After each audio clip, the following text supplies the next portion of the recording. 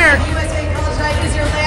Check it out. Awesome prizes. Might even see your photo up on the scoreboard, so keep it going.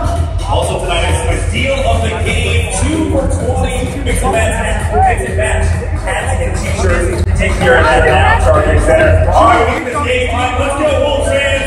Wolves, places, next. Let's go.